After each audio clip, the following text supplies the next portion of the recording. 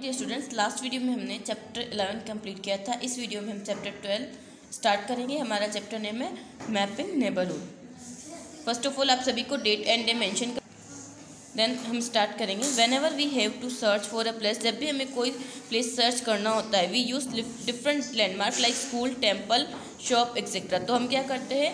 Different landmark का use करते हैं। जैसे स्कूल हो टेंपल हो शॉप हो। Direction helps help us to locate place easily और डायरेक्शन हमें कोई भी प्लेस को जानने के लिए हेल्प करती कि हम इजीली में उस प्लेस हम, हमें मिल जाए। The four main directions are north east west and south जो आपकी जो मेन जो डायरेक्शन है, वो कौन कौन सी? नॉर्थ वेस्ट ईस्ट साउथ ये सभी डायरेक्शंस के नेम आपको लर्न करने हैं। एक compass helps us to know the directions with the help of needle एक कॉम्पास जो है, वो हमें हेल्प करता है नीडल की हेल्प से हमें हेल्प करता है कि हम डायरेक्शन जानने के लिए। इस कॉम्पास की मदद से हम क्या कर सकते कॉम्पास में जो नीडल होती है उसकी मदद से हम डायरेक्शंस जान सकते हैं।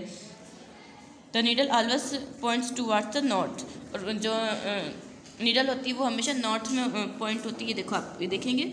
अब जैसे जैसे जो हम जिस डायरेक्शन में जाते हैं तो ये हमें हेल्प करता रहता है। और सब डायरेक्शंस जो होती है वो कौन कौन सी होती है? North west north east south east और साउथ वेस्ट ये होती है सब direction it is very easy to mark the four major direction with the help of the rising sun और ये एक बहुत ही इजी तरीका आपको डायरेक्शन जानने का, एक राइजिंग सन की हेल्प से. कैसे कर सकते हैं? Stand in front of the rising sun and open your arms to both sides आपको क्या करना है? फ्रंट जहाँ पे सन राइज होता है, वहाँ आपको फ्रंट में खड़ा होना फेस कहाँ होना चाहिए आपका? सन की तरफ़. और दोनों आर्म्स आपको ओपन करनी the sun rises in the east sun कौन सी डायरेक्शन में होता है? ईस्ट में। So you are facing the east direction तो आप कौन सी डायरेक्शन फेस कर रहे हैं? ईस्ट। द अपोजिट साइड क्या होगी? ईस्ट की आपका जो बैक साइड है, वो कौन सी डायरेक्शन फेस कर होगा? वो होगा वेस्ट ईस्ट वेस्ट एंड जो आपका जो लेफ़्ट हैंड है, वो होगा north is your left hand और आपका जो लेफ़्ट हैंड होगा, वो नॉर्थ होगा और राइट right हैंड क्या हो जाएगा? साउथ होगा। तो ये कितना ईजी है आप देखेंगे, आप खुद इसे ट्राई करके देखेंगे। आप जब भी सनराइज होता है, उसके इन फ्रंट में खड़े होंगे तो वो तो सामने वाला तो क्या हो जाएगा आपका? सन कौन सी डायरेक्शन से होता है? ईस्ट से।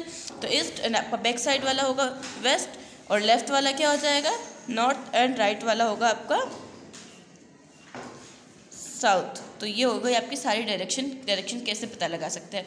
आई होप आपको ये समझ में आया होगा. Thank you